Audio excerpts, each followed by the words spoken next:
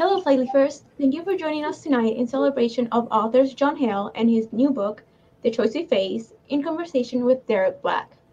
My name is Morella, and I'm the new events coordinator co- coordinator here at Flyleaf Books. And with me is Maggie, the marketing and events manager. Before we begin, if you have questions during the event, please put them in the chat or in the Ask a Question tab at the bottom of the screen, and I'll ask them towards the end of the evening. You can find out all about our virtual or sometimes in-person events by clicking on the link at the top of the screen. Also, if you would like to make a donation to Flyleaf to help us continue bring great programs like this one in, to you in the future, please click the donate button below our faces. If you would like to support Flyleaf and tonight's authors, we have copies of Jon's book, The Choice We Face, available for purchase on our website. Just click the button um, beneath her faces. Yeah, yeah. Okay. Um, you can also call Flyleaf Books over the phone, or if you're local to Chapel Hill, come visit us and shop our shelves. We are now open seven days a week. And now I'd like to welcome our authors for tonight's event. Jon Hale is a professor of educational history at the University of Illinois at Urbana-Champaign and an advocate for quality public education. His research in education has been published in The Atlantic, CNN.com, Education Week, The American Scholar, and the African American Intellectual History series. His books include The Freedom Schools and To Write in the Light of Freedom. Tonight, Jon is in conversation with Derek Black, who is a professor at the University of South Carolina Law School, where he teaches constitutional law, civil rights, and educational law. He's a well known and outspoken advocate of the importance of public education. His research is published in leading legal journals at Yale and Stanford and cited in federal courts. His most recent book is Schoolhouse Burning. Um, I'm now going to minimize myself so we can focus on the authors, but we'll pop back in in about 40 minutes to, to moderate those questions you'll hopefully be sending in. Thanks.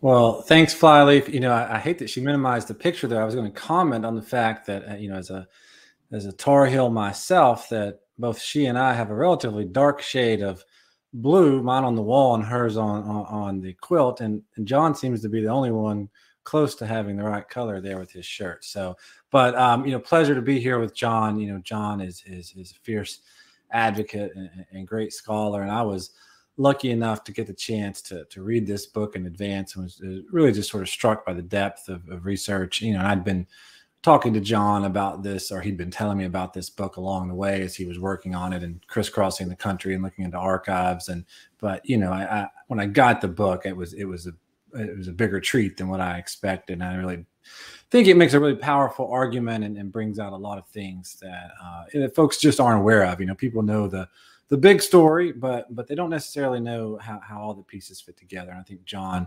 wonderfully brings together the pieces of, of race and choice uh, and school quality for us in this book. So um, just want to say thanks, you know, for you, Jon. Let me be part of this, and um, and I'll just jump right into it. Um, so you know, one of the things I, I, there's always a story behind the books. You know, I, I put a little bit of my story into the preface of my book. I should note at, at Jon's uh, at Jon's suggestion. So thanks for that, Jon. But but tell us a little bit about what motivated you to write this book and what really inspired you. Sure. And Derek uh, and and Flyleaf, thank you so much for organizing the event. And Derek, taking uh, time out of your busy day. I know you're on a speaking circuit and, and consulted across the country for um, particular education cases, uh, especially with, with, the pandemic and, and uh, mass mandates. So I appreciate your time. And, you know, a motivation for this book really, as I talk about in, in, in the introduction to the book, begins in, in Charleston, South Carolina in 2015. You know, I'm teaching history of education courses at the College of Charleston. I'm also, you know, dipping my toe in, if you will, to the community around community organizing uh, in, in terms of quality education policy because Charleston is really in many ways a privatized system.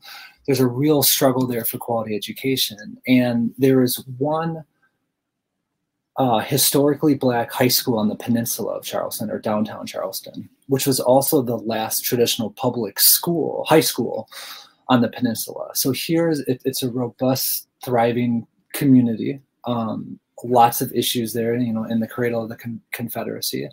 But it really struck me that there is one traditional public high school left, and it happens to be historically black. And once I got wind of a proposal, which was becoming popular across the city, to turn or to convert rather, um, and it's called Burke High School, uh, to convert Burke High School into a charter school, I really became concerned and I started going to meetings um, in the community about Burke High School. I started tracking and following this on social media and really just jumped into the conversation um, to learn more about why people wanted to convert Burke High School into a charter school, but then also to try to share information about the history of that because I really felt that a lot of parents were throwing around school choice without understanding the implications of it, but especially the history of it. And specifically, I'll say Charleston is rapidly gentrifying. It, it's whiter. It, it, it has the highest percentage of a white population that it's ever had in the history of the city. And it was a lot of white parents calling for school choice. And to me, that was very alarming because there are racist, racist origins to school choice and this was on full display in Charleston and how people were talking about Burke High School and how they were proposing school choice, specifically a charter school, as a solution to what they saw as a failing uh, school. So it really all came full circle for me. My, my research, my interest in education, the civil rights movement, and seeing how people in Charleston were talking about school choice raised a lot of red flags for me. I was very concerned and, and sort of just jumped right in. And this book is very much a result of those conversations in Charleston, kind of what I went through as a scholar and a teacher with this history and kind of living what these conversations were like on the ground. And I really just wanted to write a book that sort of shed light on problematic aspects of this history that I felt like just a lot of people didn't know. So hopefully just to raise awareness for everyone who uses school choice in a way to improve public education. Yeah, well, I mean, long way from from Burke all the way to the you know the the hard copy book now, and I'm just wondering, you know, along that long journey, you know, you got a lot of little nuggets, a lot of big nuggets, but what what surprised you most along the way, either in your interviews that maybe didn't make the book, or in things that did make it to the book? Yeah, so as you know, especially reading Schoolhouse Burning and uh, just when we're especially in the archives and, and, and conducting interviews and, and, really diving into our topics, right? We learn so much in the process. I, I, think I went in there knowing what the history was. I knew what the history was, but excuse me. What surprised me was really the number of people who were in support of school choice. And what really surprised me was the level of commitment among civil rights activists and Black freedom struggle activists, and I profile Howard Fuller in the book, who really latch on to school choice as a solution to failing public schools. So what struck me ultimately was just the wide breadth of political support that school choice enjoys. And this, you know, seeing this, it made sense to me how President Barack Obama to someone else's president in the previous administration, how both could really support aspects of school choice. So it was really, what surprised me was just how deep a commitment was to school choice. So I spent a lot of the book sort of unpacking that by race. And it surprised me because it, it, you know I realized that we couldn't look at school choice as a monolith or as sort of one universal definition of school choice. It really depends who you are in this country, what is your relationship to public school, many in, in, in many uh, times based on race that that determines what we mean by school choice. So school choice will mean many different things to many different people. And it really, you know, I try to do it in 250 pages or so, and I don't know if that's enough space, but to really unpack what that means and to really sort of demonstrate the responsibility we have to, un, to, to know it is what we're saying when we're out here in public saying we want school choice, because it means several things to different people. And that was really one of the most surprising aspects to hear, and in Charleston specifically, um, a, a, an activist who you know who's transitioned and rest in power, Muhiyidin d'Baha, who was a local grassroots organizer in Charleston, and him he had many conversations with me about school choice, and to him it meant the ability to control or really to to have input in a school that was a, that never existed. And that's how he defined school choice. And he really turned me on to understanding the complexity and nuance of school choice based on race. Well, let, let me ask you then. I mean, it sounds like, well, don't know if you're just being nice or maybe he he, he moved you a little bit on, on where, where you're at. I mean, t- tell us a little bit about that because I get into it later. I was thinking about getting into it later, but I think you really tee it up now. You know, you're sitting across the table with an individual coming at this from from a justice perspective in, in many respects. And like, you know, how did you reconcile? I guess you say, how did you reconcile these conversations in your own mind? you know, it's sort of this, you know, Hegelian dialectic where at first I didn't reconcile it. I, I, revolted at the idea of someone that I respected as much as Muhiyidin supporting school choice. Because to me, that meant privatization, it meant charters, it, it meant for profit organizations coming in and exploiting the community. But Muhiyidin, when, when we would talk, you know, I had such respect for him as a community organizer. And, you know, you may remember Muhiyidin, there, there's a photo of him jumping over a police barrier to tear down the Confederate flag out, out of the hands of uh, Confederate um, sympathizers, right, in, in Charleston. And he gained national attention for that. But I met Muhiyidin, you know, in the, in the protests after um, the uh, the murder of, of after uh, Michael Slager shot Walter Scott in the back in North Charleston, I really saw Muhiyidin emerge as a community leader around uh, the Black Lives Matter movement protests. So to hear him, it sort of shocked me to to you know how could he support school choice to how I understood it. So through many conversations, just in just really hearing him out, right, it was an opportunity, and this is something that Howard Fuller expresses too. Um, not that it's always right, but an opportunity to really gain control of a public school that has really slipped away from the community. It, it's a way to sort of, you know, regain control and to, to elevate your voice to be heard, to be part of the decision making process. So, and I, I, respect that tremendously. So, when someone like Muhiyidin's coming to the table, say, I would like school choice, you know, to just give it a chance and to really hear what's being said. It's not school choice as in for profit management, it's school choice in a civil rights tradition to gain control of a school to better serve your your children. So you know it, it was a hard process and especially between 2015 2018 millicent brown uh, the first student to desegregate schools in south carolina k-12 schools you know she walked me through this process and probably you know she was very uh, annoyed in the process because i have a hard time hearing things that sort of don't fit with my initial impressions as a researcher. So really kind of walking me through the process and, and showing that there, it, it's a much deeper concept than I initially gave credence to. You can't just walk out and say, oh, school choice is a racist policy, that's it. So much has changed over time. You know, the, the rhetoric around it has really changed. So it's people like Muhiyidin who really sort of, I think, enlightened me to look at the nuance of what we mean by school choice. Yeah, I'll just jump in just for briefly. I, you know, I've struggled with this on this issue in my book as well, and you know, the answer that I've arrived to, and I think taking your your your comments in helps. I, I think the, I think the real answer for me is that ultimately we all speak from a different position on the question uh, of choice, right? That that you know, my children haven't been faced with a struggling school system, um, and you know that's not an experience i have you know my community hasn't been disadvantaged in those ways. And so one of the things i, I say is like i cannot second guess. I'm, I'm not in a position to actually even evaluate the struggles that that disadvantaged communities have. And so you know i can validate or at least defer to that but i think there's this other piece of it that says well wait a minute. Actually the other people who are viewing this this issue of choice actually i do understand where they're coming from and i think it's highly problematic I also understand choice is a matter of, of the exercise of state power or the lack thereof. And I can critique and say all of those are highly problematic with bad motivations and actually going to produce poor results until the end of time uh, for for disadvantaged communities.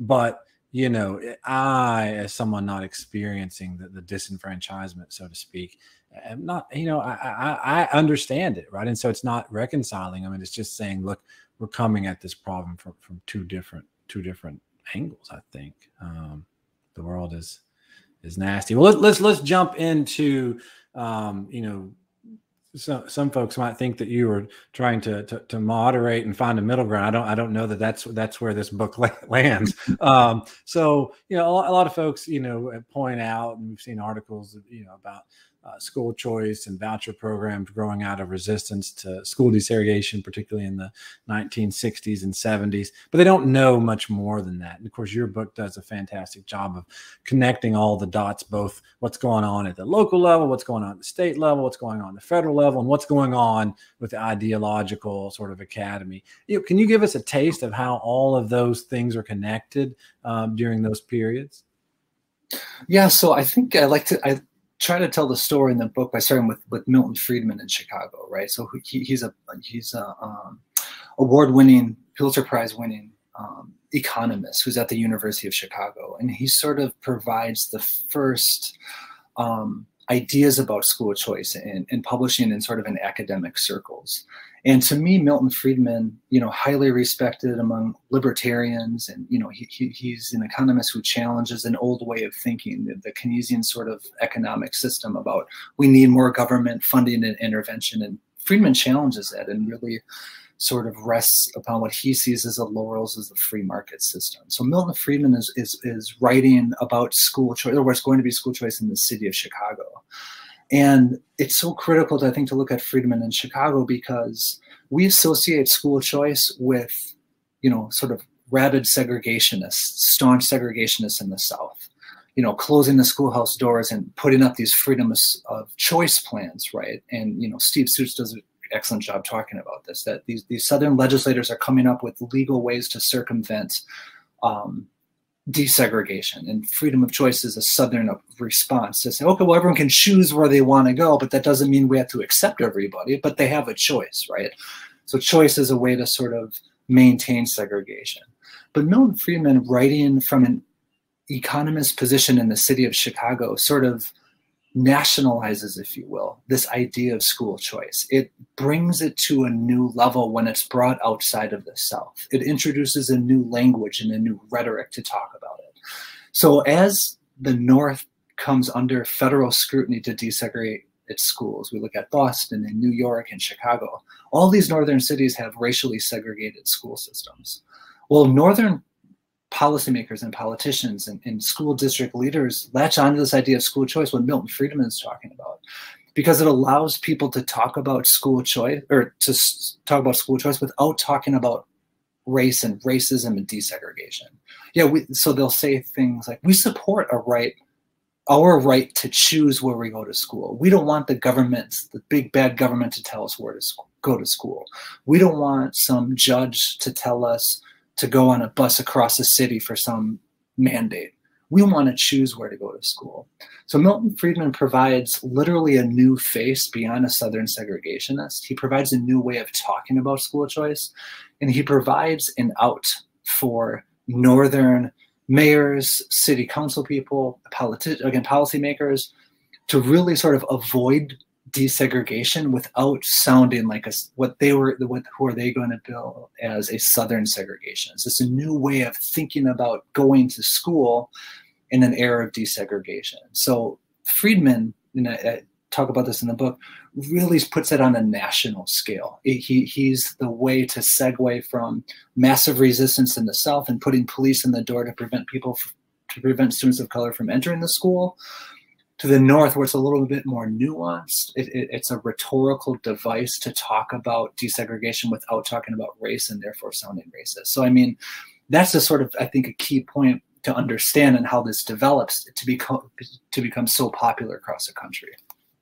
Yeah, I mean, and I know you talk a little bit in the book about him being able to look outside his own doors and, and see what's happening and not happening there in Chicago. And you know, I wonder if how much of this was a was a charade or or or not, right? Which is to say, I mean, on a theoretical level, fine, but there was really only one way that this was ever going to be implemented, and um, so I mean, I, I, guess the question is, you know, like how much does he get a pass or not get a pass for for for all of this? Was he as you know racially clean as as he might claim to be? You know, he's just sort of markets. Yeah, that's a really you know that, that that's a great question and, and, a tough one too because we're we're re-evaluating this history. We're providing a new interpretation based on the same sources but in 2021 right? We, we've we've grown as a society and as scholars as teachers to sort of understand things in a different way. So this just came out i just put a piece out uh, yesterday about this very situation milton friedman in chicago. And I've, I've already received a couple of hate emails from superintendents and principals across illinois right? So talk about it's not just the south. Here i'm in you know quote unquote land of lincoln and people are very upset when you start to sort of criticize someone like Milton Friedman. And they go to the point where he says Milton Milton Friedman, and this is true, you know, personally disavowed segregation. He was not a segregationist. He, he said on time and time again that I do not believe in segregation. And he writes about this in this 1955 article, which has become quite popular, called The Federal Role in Education. And he revises the same article in 1962 and he says it at first he says it he says it in the footnotes you have to read it pretty clearly he says i personally do not believe in segregation which is true at the same time he believes in the right of segregationists to open their own segregationist academies to sort of to to advocate um, the inferiority of people of color he supports the right of people to to to publicly detest desegregation. He supports the right of people to do that. He personally disavows that, but he says everyone has a right to do what they want to. Well, when we look at this history, what he's doing is is noticing there's there's a literal fire going on outside of the city, right? That people are saying these things. And he's like, yeah, that's okay because this is a free marketplace of ideas. We, we, we cannot not say that. And this is still a debate today, right? Do people have a right to say you know, particularly violent or hateful things and get away with it. Milton Friedman is, supports that. And I'm arguing that when you allow racist policy to, you know, repeat itself, for racist policy to propagate and to grow and to expand during the 1960s, you're, you're, you're essentially supporting racist policy. You may not believe in that yourself, but you are allowing that idea to fester and to grow and to infect an entire public system of education. So one aspect here is that he is allowing people, you know, again, staunch segregationists to say what they want and to set up their own schools to the point where he actually acknowledges the Virginia system as a model to follow. So also in the footnotes, he says, if Chicago would adopt the policies of the state of Virginia, this system will improve. Well, he writes this in 1962, and they're closing public schools in the state of Virginia to avoid desegregation. They're giving tuition waivers to segregation academies. They are blocking students of color from entering previously all white schools. And he says that this is okay and that's actually going to improve the system. I think we look back and say he's, you know, he may not be a racist as we traditionally defined it, but he's definitely supporting racist policy. And he elevates this to a platform where other people are allowed to support this racist policy. So I think it's time to sort of reevaluate Milton Friedman and, and really say, you know, this guy's supporting racist policy. He may not believe it, but he's allowing this to fester. Well, let, us I want to pick at that a little bit more. I don't know that if your your book has all of the details, maybe have some thoughts, which is and it's the same issue we have today, which is, you know, hey, look, I, I support folks' ability to go to whatever type of ideological private school they want to. I support them to teach their kids, I suppose, what they want to, but I don't support the government funding it. Right. And so I'm just wondering well, so that's point number one.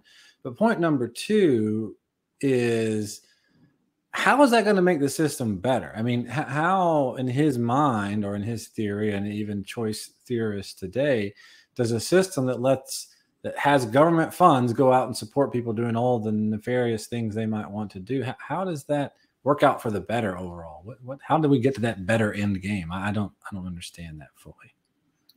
It, it, it's hard to comprehend. I think when we really look, look at what's going on in the 50s and look back, I mean, hindsight's 2020 and say, how could you think that? Because we know how people reacted to school desegregation. They they moved out of cities, you know, white flight. They they they literally barred people from entering schools. We know that people would want to. Um, um, we, we saw what happened when you allow this sort of rhetoric to sort of fester. But the idea it's supposed to work, according to Milton Friedman, that this free market, the principles of competition. So he thought these segregation academies would sort of just die out on their own because no one would want to attend them. Like like he other people would think like he would that desegregation is actually a noble goal that we should achieve this. But he like so many others in the in the civil rights movement black freedom struggle underestimated right the resistance of segregation and the, the, the strict adherence to segregationist principles that we still deal with today. That those ideas really need to be stamped out that you can't allow these ideas to fester because they're just going to grow. And we still see this debate today. If you look at the 1619 project or you know the development of our discourse around critical race theory right? People are really upset over the, the discussion of race in our schools and the government should fund this and we should take money away from it. So i mean uh, and they're saying allow the money to follow the individual right? So the whole system is supposed to get better according to this theory in the 1950s if we allow the money to follow the individual well individuals as it turns out and we see this in milton friedman in chicago where they're not where, where they're literally pulling the furniture and the belongings of black families moving into white neighborhoods out and putting it in the street. There's riots in cicero uh, chicago over over african american families moving into in, in the white neighborhood of cicero. We see people making irrational decisions so the whole theory is thrown off if you just look at how people are actually reacting. So the theory is the system will improve, but reality, people just have a hard time getting, you know, looking at racism and racist policy and desegregation, and they're not acting rationally. So we can't allow, you know, these ideas will continue to propagate if they're not checked. Well, let, us let's, let's jump in. Let's jump forward a little bit, which we're jumping over a lot of the story. There's, there's a lot of good Reagan and stuff uh, in, in, the book as well. You, you have to buy it if you want to get that part. But um, you know, one of the the fascinating things, uh, Betsy DeVos and and, and others uh, have been quite good, and and and Jeb Bush, and sort of wrapping school choice uh, in and the flag of civil rights, which is saying this is the civil rights movement of today. You know, I mean, you know, if you yeah. look at the at the the only plank, uh, education plank on on President former President Trump's reelection campaign was get rid of CRT, um, and although they didn't call it that, and to ensure that every child in America can choose where they go to school. How is it that that choice is is with a straight face, or maybe I'm just too cynical. How how is it the civil rights issue of our day? How are they managing to use this language? Yeah, and I'd also add to say that it's not just you know former President Trump and Betsy DeVos talking about school choices as, as the issue of, of, the civil rights issue of the day. You know that's coming from um, Martin Luther King. You know the third, right, Dr. King's son. It's coming from um, James Forman Jr. It's it, it's coming from Geoffrey Canada, strong black advocates for school choice who are also making the same claim. But what happens is, and, and I t- try to articulate this in the book, you know, school choice is not so much a system of policies about about trying to set up, you know, state and federal funding for vouchers. It's not just creating a, you know, empowering people to set up a charter school. It, it, it's those policies as much as it is a worldview about how we see schools. It, it's sort of a, a, a mindset. We, we have a right to choose. That right, right, um, that right to choose becomes a sort of you know almost a sacred right in, when we talk about it among parents that everyone has a right to choose. Well this right does actually doesn't exist in state constitutions or, or, or, the united states constitution. We don't even provide a right you know as you know in your work right? There you know we don't have that right to um, in education as other countries do. So this it develops over time to say for people to say we have a right to choose the best options available um, because our public schools just aren't working. This is this is a principle. This this is an idea that Black families and families of color can really get get on board with because the public system has failed them and marginalized communities since the origin of public schools in the United States. The, the, the system itself is designed to serve a very small elite. So those outside of that have been historically failed by the system and they continue to be failed by the system. So when people are making this claim, right, they're coming at it from different angles where Donald Trump can say, yeah, we have a right to choose because the government just provide bad, bad schools. And then coming from, let's say, a black community in Charleston could be, we want to choose how our children are educated because we are being underserved by this. We have a right for our voices to be heard. Those are very different claims that we're making. And we just have to have the understanding and the patience to really unpack about unpack who's saying it and why. Well, yeah, I and this comes back to the earlier conversation. But I think this is very helpful. So let, let, let's put some some meat and bones on part of it, and I'll rephrase the question. Number one, it, it is the case that uh, you know African American children and, and uh, across this country and, and Latino and other marginalized children across this country have the state has a constitutional obligation to them to deliver quality education. It has defaulted on them, and I can theorize their individual right for something either in the public school system or elsewhere because the government has defaulted. I guess the question though is how Betsy DeVos, uh, speaking from sort of the, the, the, religious right, for instance, or, or sort of the, the wealthy class that thinks it pays too many taxes, how do they have a right? Because the government actually isn't defaulting on its obligation to them. I mean, our, predominantly white, you know, suburban schools are, are the envy of the world. When we say our schools are failing, we're, people are really talking about a subset of our schools. Yeah. So here, here it's, it's a different. It's not so much. They claim it's a civil right, but I think that's a cloak to, to cover up or or to embrace what they're talking about. What people have a right to run schools. They are arguing, Betsy DeVos and others, as a business, as we see fit because we don't like current schools. If you're going to provide 1619 project curriculum, we have a right to go in there and intervene. Or if we want Christian values instilled in our schools, we have a right to sort of go in there and, and you know, manage these schools as, as we see fit. And that's what Milton Friedman is putting forth an economic language of, of the marketplace and the business to sort of run schools. So when people are saying this is a civil right, it's a different claim. It's based on a different set of principles that schools should be run like a business. We need to establish an educational marketplace because eh, competition is going to improve. Race really doesn't enter their equation. They're using the same rhetoric, but it's very different. So this is principles based on essentially capitalism right? Let's put more businesses up and may the best businesses survive. And naturally, these other schools or these bad businesses are just going to close down. So when they claim it's a civil right, it's really an appropriation of language that develops in communities of color to sort of discuss how schools are, how are failing their children and how or what a possible solution here. DeVos and Trump are were using the same language, but a very different set of principles. One grounded in capitalism, one grounded in, in, in the language and rhetoric of an educational marketplace, sort of what Friedman was talking about. Same language, but very different set of principles. Yeah, well, you're, you're being nice. I think I think we got to the point where I'm, I'm, comfortable in saying that actually they're they're misusing terms, right? That that one can make a logical claim, a logical claim of a right of a disadvantaged community that, the government's defaulted on. But the thing that that these other folks are talking about uh, really isn't grounded in anything that I would even call American. I mean, as as I sometimes say, and I'll be quite like if the only role that can justify extracting my taxes from me to pay for education is for it to serve the greater good. Because if what we're really just talking about is letting privileged people get their taxes back or or sort of pursue the religious ends, then the whole reason why government's involved in education actually falls apart. That like if that market is where we're going, then we should just get out of the education business because I mean they're not helping me buy a suburban, they're not helping me buy you know a Tesla, uh, or at least if you're not in the first you know thousand people or whatever. So I mean, government really has no role in that. It seems to me. But but but I I digress. Um, let, us let's let's let's we're getting short here uh, towards the end of time. You and you and I have long conversations.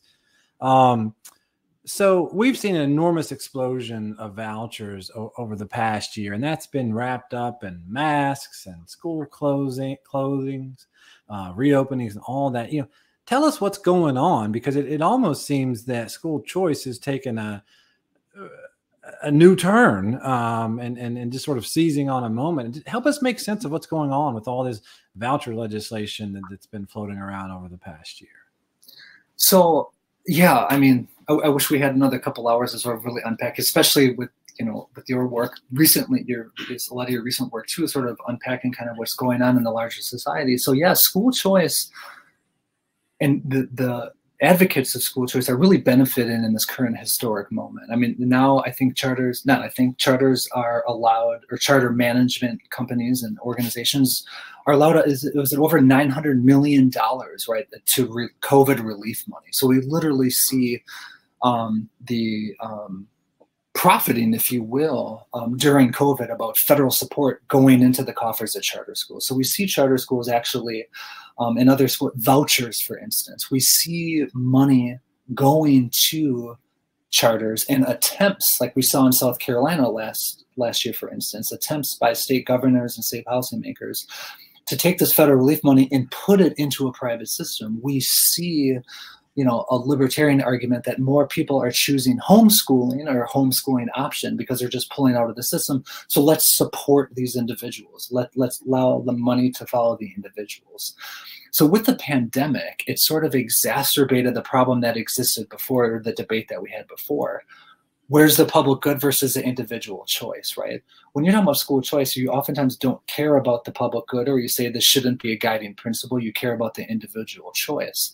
So the pandemic has sort of exacerbated this discussion. It's it's sort of allowed this conversation to to reach a new height, a new extreme, if you will, to say, um, you know, that we are going to allow private schools we're going to allow school vouchers to pay for private education. We're going to allow charter schools, magnet programs. We want these to foster and thrive because it's something we learned during the pandemic. So the argument goes is that public schools have failed, right? They're trying to make us wear masks. This is our right not to wear a mask. This is a thriving argument right now, especially in a lot of these southern states. So school choice is really, I think, gaining an upper hand versus the larger public school system after COVID because so many people, again, are looking at public schools as just these sites of, of unrest and tension. They're uncomfortable going back to public school. They want to stay at home, right? So we see a lot of people sort of latching onto this sort of anxiety induced by the pandemic and this sort of frustration with the these public schools and sort of pulling out of the system. And the federal government, it appears, or state governments, depending on where you live and who's in control of the legislature, are actually funding this massive pullout of the public school system. Um, Derek, you're much more familiar. I, I'd ask you to sort of, you know, talk about what you're seeing in the legal realm and what's going on in the courtrooms right now as school choice becomes a way for people to funnel money outside of the public school system. Yeah, well, I'm, I'm not I'm not going to take the bait on that because I've got one burning question that, may, that that's related to that. I want I want you to to help me think about the next couple of years. It is related to those cases, and one of the the cases that came out last year was a case called Espinoza, in which the court held that um, states could not exclude religious entities from their voucher program. So Montana, you know, has a voucher program or had one, and you could use it anywhere except for religious schools. Supreme Court declared that unconstitutional. There's another case right now uh, the court just took in June in which it the question will be okay you let them participate them being religious schools do you also have to let them spend government money on on religion? Could could, could they use the money to, to pay for communion for instance? That that's the issue before the court. I'm not going to make you prognosticate about that but there's a lot of folks saying look if we take this logic that's come out of espinoza and what might actually happen in, in this other case that it extends to charters as well which is to say that charter schools can be run by religious schools, not only run by them, but they actually can teach religion as truth. You literally have what's called a public charter school that is the Catholic public charter school.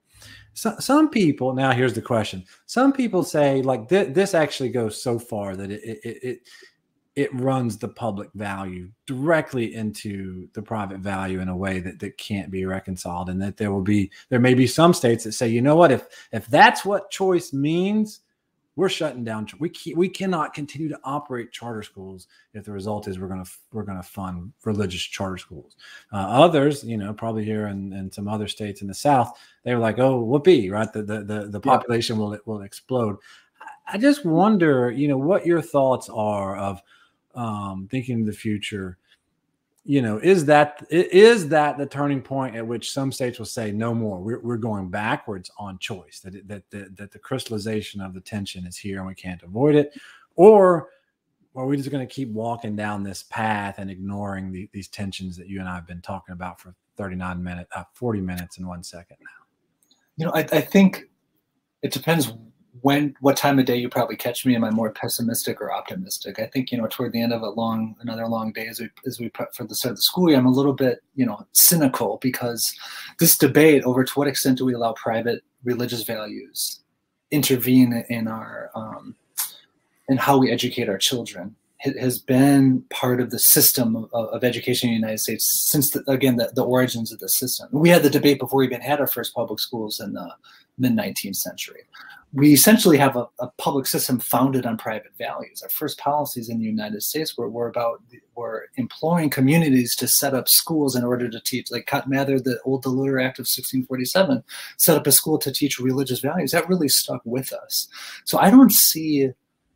I, I see some people being upset and say, "Oh, we're not going to allow our charter schools to do that." But I think there's a much longer historic trajectory behind the push to, to, to keep religious values and religion in our schools. I don't think that debate's going anywhere. I think it's going to turn a few left-leaning charter advocates is going to turn them off, but there's there's a much stronger history to support the inclusion of, of, of private religious values in public schools. Um, so I don't think that debate's going anywhere. But I, I think it's just become, it's going to become more nuanced because look at the language around charter schools. The debate up up until Espinoza has been you know, I, I think that the, those critical school choice will call them, you know, uh, publicly funded schools that are privately run and governed. That was a sort of running definition. And the counterpoint to that was like, no, no, these, these, these are public, sorry, these are public schools through and through. We are, these are publicly funded and, and there's transparency. These are, these are public schools. We're going to lose that argument if, if this religious argument, or if, if there's religious charter schools are allowed to proliferate across the country because you can't honestly say these are these are public schools if, if you have a public Catholic charter school. You can no longer say that, I think, with a straight face. So I think it's going to make it a more complicated debate, too. I also want to point to the fact that sometimes we forget that in 2018, we had the first charter school teacher strike in the city of Chicago. And of course, Chicago is the appropriate place to have teacher strikes, birthplace of teacher unions, largest teacher strikes in, in, in the country outside of New York in the late 60s. But what we have are charter school teachers beginning to say, you know what, Th this whole private system isn't benefiting our salaries, our working conditions. So I think you're going to see it coming from both ways. I think you're going to see a rise of religious uh, input into charter schools, but you're also going to see some charter school teachers starting to look lean to the left in terms of organizing for higher pay, more transparency, and even perhaps unionization. Well, let's jump in here and, and, take. I see one question, and I think I know Don. I, rec- I, certainly recognize Don Ingles' name. I don't know where I know him from, pro- probably Twitter. But um, maybe let's jump in there and grab his question. He, he's asking about the charter school movement of the last decade and, and, sort of whether it is born out of similar instincts to those of, of Milton Friedman, Friedman and the and the voucher movement, or whether it's something distinct. So you know we've talked a lot about vouchers we've jumped to charters. How do they how do we situate them in, in this sort of uh, history and, and, and particularly with race? Yeah so um and don thanks so much for the question. I saw it and was trying to talk around it but i'm glad we could just bring it up now. So charters really start the first charter school legislation passes in 1991 in the state of minnesota. So charter it's first proposed in the late 70s by by Ray Budde who's an educator in new york. So if, if you're living in new york you know Ray Budde and then, then al shanker right? Actually they're teachers and teacher unions are the first to propose charters um, really and this this idea sort of takes off among the union in the late by the late 1980s they're actually talking about charters. If and when controlled by teachers and teacher unions, right? So this idea, yeah, charters develops much later, you know, 20 plus years after the Virginia plans and they're privatizing and vouchers. So charter schools come after. So inherently, charters are very different from school vouchers, and they develop later in history. Now we're, we're I, am going to argue reevaluating charters 30 years after the first legislation is actually passed in Minnesota.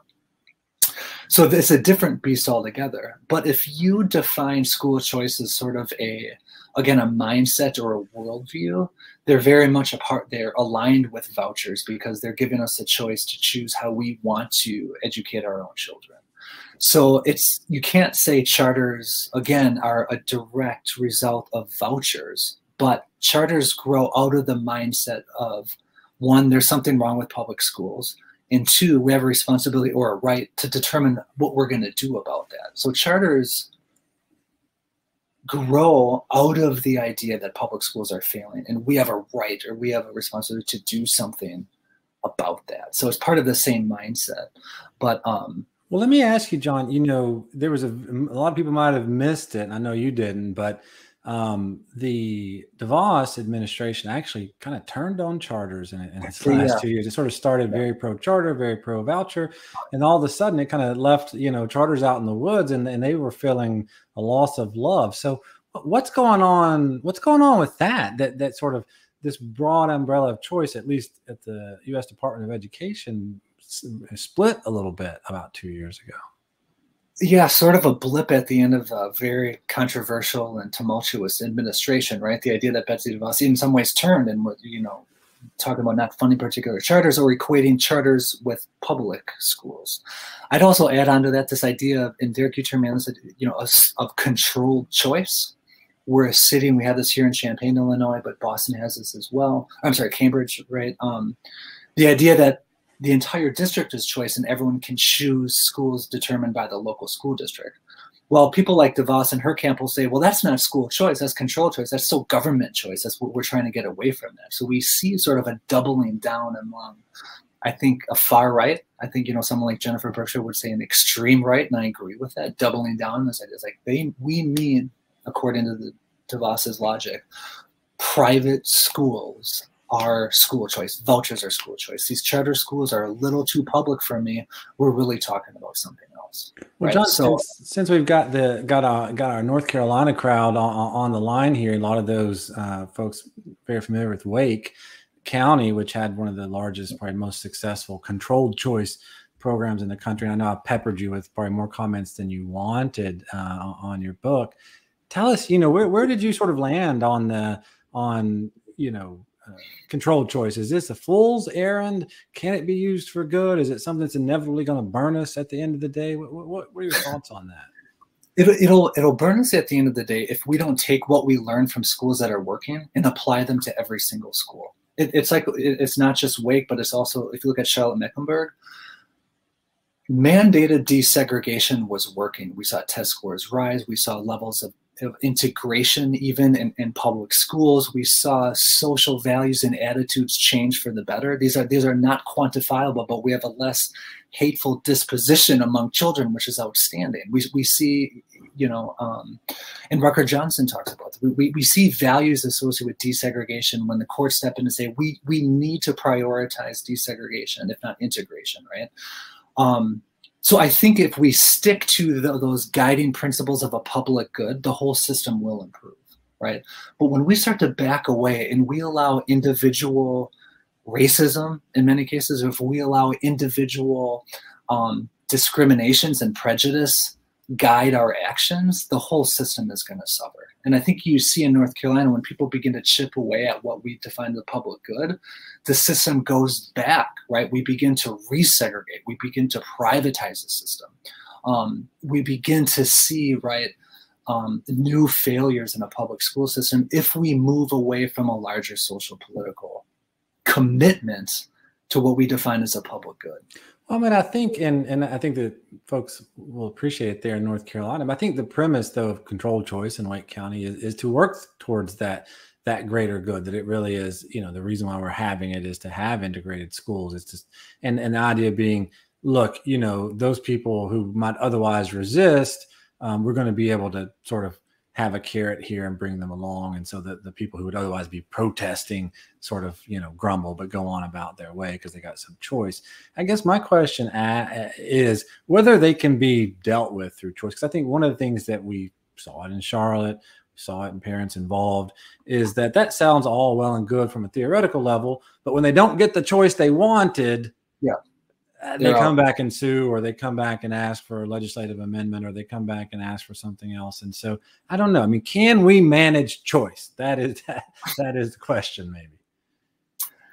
It, well then you're talking about managing individual dispositions and discriminations and that that that's i wish we it, you wish you could right? You wish you could say well you shouldn't be so hateful. You shouldn't hate a particular segment of, of, of, of your community right? Or you shouldn't fear that necessarily but it, it takes a lot of strong policy to say, well, if you really don't want to go to this public school that we're, we're investing in and our, and our teachers are paid well and you know we, we, we, we embrace best practices, if you really don't like that, do what you want, but we're not going to support you. We're not going to give you money to pull out of this system. And that's what some legislators in North Carolina are talking about, right? Let, let's allow the money to follow the individual. If you don't want to go to this public school, then take your money and go somewhere else. I think you have to say, fine, go to a private school, but that's on you. That that's your tuition money. That you're you're coming up with that. You cannot use public funds to go to a school that's not explicitly committed to this public good right? And I think there it's what we need that sort of stronger intervention to say we have a state constitutional responsibility to provide the best public school system for everybody. And if you don't want to do that, that's on you. You have to pay for that yourself, right? And I think choice is starting to say, no, let individuals receive public funding to make those choices. Yeah, I think you already, I know you already sort of dealt with this, or we talked around a bit, and uh, the question of, of minority children in, in public schools. Early on. Um, I might invite others though if they want to chime in with, with questions here. I don't want to overly dominate uh, the conversation. I, you know, I, I saw the follow up to Don's question there too. So I think that, that that's one of the um, to go back to one of Derek's earlier questions about one of the surprising elements were the number of um, you know families of color, black families, families of color who really supported school choice. And I think if you look, I think Memphis provides a really good sort of case study at this, right? Um, here you see Memphis and Arne Duncan, you know, Secretary of Education and President Barack Obama really had a, a, hand in this to look at Memphis as a way to implement choice, the way to implement school choice and to employ charters as a way to sort of shape the whole Shelby County school system. What we saw two things. One, we saw the suburban areas around Memphis secede literally say we're going to create our own school district and we're not messing with the city of Memphis. So even when choice was an option, white families in the suburbs were still saying, we're not going to do this. We're just going to create our own system altogether. Two, we saw a real struggle in Memphis between what in Dave Silva will call them mom and pop charter, several others, but mom and pop charter schools versus charter schools like KIPP or national charter school organizations come into a city and say, okay, we're going to start up a bunch of green dot charter schools, or we're going to set up a bunch of KIPP schools, we're going to set up a bunch of noble charter schools, like these branded big business charter schools. There's a difference. There's many different types of charters. If a, let's say, uh, Latinx family or community said, we want a charter school that specifically, you know, embraces not bilingual education but Spanish, right? For instance, as a first uh, or as a primary level instruction. Or if a black family organizes and say, we're, we're going to have the 1619 project as the mandated curriculum. To me, that's a different type of charter school that's grounded in a genuine call for civil rights, as opposed to a for-profit company coming in there. So I'd say if families want to charter, if families of color who have been historically disadvantaged by the public school system want to start a charter, I would say hear it out. Let's su support the plan because I think when you dig down, I would hear that that's not necessarily support of charter schools as defined by Betsy DeVos. That's a, that, that's a civil rights school under the rhetoric of choice. And we have to, in, in the choice we face, right, we have to be able to discern the different types of demands among a public school of, of, of, public education today. We have to be able to see the difference between you know, Geoffrey Canada, for instance, or a struggling uh, family in in a public school system, see the difference between that family and Betsy DeVos. It's they may use the same language, but they're coming from a very different position in, in United States society, and it's up to us to really understand and parse through that to say, well, what's going on here. Well, we're getting the tough spots, Jon, though, because I, I want to say, you know, as you're saying all that, I'm like, well, you know, he wasn't convinced we could we could manage choice, but it sounds like you think we could manage charters. And, I, and I've, you know, I'm going to give a presentation in Philadelphia that talks about how we might consider regulating them because they've been rel- relatively um, unregulated. But I guess the question I'll just ask it again in regard to charters. I mean, is this is this just fanciful thinking that once we sort of let the control of this public good be primarily run by private individuals and private companies, regardless of what their status in life is, we're not going to be able to control it. We're not going to be able to draw those distinctions. We're not going to be able to prevent predatory action. We're not going to be able to prevent, you know, the secession white communities, which are happening all over the place in North Carolina. The charters becoming wider yeah. as the public schools are coming. Can we do anything to stop the parade of horribles, or are we just deluding ourselves? two things. One, and, and Derek, your work, right, inspiring, and also think you. I see the alignment and connection to um, in Bob Moses, rest in power. Um, you know, the idea that if we had a federal constitutional right, if you will, or, or, a constitutional right to a free, quality public education, and that and that was something that uh, our country could buy into and say, yes, we have the constitutional right to defend people's access to a free, quality public education. I think that might give us some of the impetus or the political backbone to sort of tell people that they can't secede, or if they're going to secede from a public school district, it's going to come at a very, very high cost that, in fact, will just push people back into the public system. I think when we see government step up its its principles and expectations for quality public education, you will see a mindset. And two, I think, and this is even a more courageous conversation. I feel like if we just trusted those closest to what we might call a problem of failing public school, if we trusted those um, families who are in the public schools, because as much as we talk about choice, they don't have a choice. People and parents and children know the solutions. They know what they need. Why can't policymakers just, and this, perhaps this is fanciful thinking, but we've seen this throughout history. If we just listen to those who are going to school because they want to go to school and they want to improvement and we invested in them and we empowered communities and we uplifted and supported them we would see a dramatic turnaround because we are decentering the DeVos notions of choice and we're investing in those who have no choice but to go to the local public school i would love to see policymakers follow those parents who are demanding change because they know what what's best for their kids. I would trust them more than DeVos any day. I think we're getting to some great pressure points. Let me push this one a little bit further. I mean, I think what you really suggest, which I would agree with, is that the solution to to to vouchers and charters isn't to, you know, policy them up and argue with them to death. It's just to create a full, robust public education system so there's not much of a market for them. With that said, I think we're we still have or I have said that that actually one of the reasons we have more charters and vouchers is not because people want them, but because the government itself doesn't want to fully fund adequate and equal education. That these are this is sort of the this is the release valve, right? Sort of like the loudest, most motivated. We'll just give them what they want, and then we can just underfund it for the rest of them, and we'll come off cheaper because we the the the the Friedmans and Koch brothers of the world, we don't believe in government. We're yeah. just paying for vouchers and charters as a way station to get us to this place where government's out of the business. what, what, what do you think about that, Jon?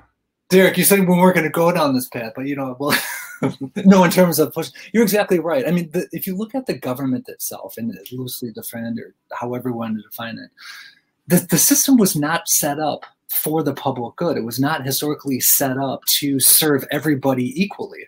We denied education to enslaved communities, to people of color, right until the end of the Civil War. And then we provided public education that was inferior and segregated up until by law in 1954. So we have hundreds of years of a system that just hasn't been allowed to reach the potential that we see in it right? So yes, the government has allowed charter schools and vouchers to grow because they were never really in the business of creating a robust model that meets the needs of all students. So when we talk about creating that system, we are reminding or you know again compel attempting to compel the government to actually build a system to live up to its ideals. So it's never existed yet. So it's really a hard sell to say, yeah, choice isn't the option. We need better public schools because it's never really existed. It requires a reimagining the public education landscape and really putting our money where our mouth is and saying, well, not everyone has equal access to this funding. Let's give it to those who confront the problem on a daily basis and those who are truly committed to it. Well, they're probably wanting us to stop, but I can't help but ask them this final question, Jon, which is and I think you, you you're, you're stating it beautifully. But so then, how for those who are committed to public education, do we? How do we push the government to live up to this idea that we've never achieved, or are we? In? Because otherwise, we're just going to muddle along with you know half baked choice and charter policies and half baked public education. And you know, how do we how do we actually move toward how do we transition from where we are now to a place where society will react to this robust public education idea that you're articulating I, I, think you know we have to recognize that not everyone has equal access or everyone has an equal claim to quality public education. And again, you know, maybe I'll just go back to schoolhouse burning and then also knowing a little bit about what you're working on now, right? If we follow, and, and Bob Moses talked about this, these he called them these lurches in American history when we sort of move forward when Reconstruction, for instance, Southern states elected predominantly black state legislatures who wrote into law public education. Flash forward 190 years later to the Brown decision, and that was a result of um, black activists and activists of color and white allies pushing the government through the courts, but also grassroots organi- organ- organization to really put these ideals out there and again, imploring the government to do something about it. We are potentially, and, and Bob was saying this before he passed, we're potentially at, at a new precipice here where we can push the government forward again. But it's not following the DeVosses and the Trumps and those who claim that school choice is a civil right.